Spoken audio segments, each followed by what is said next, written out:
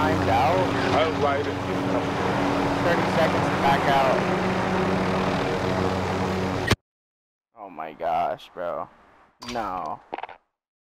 Alright, tell him to cancel. I'm not dealing with this.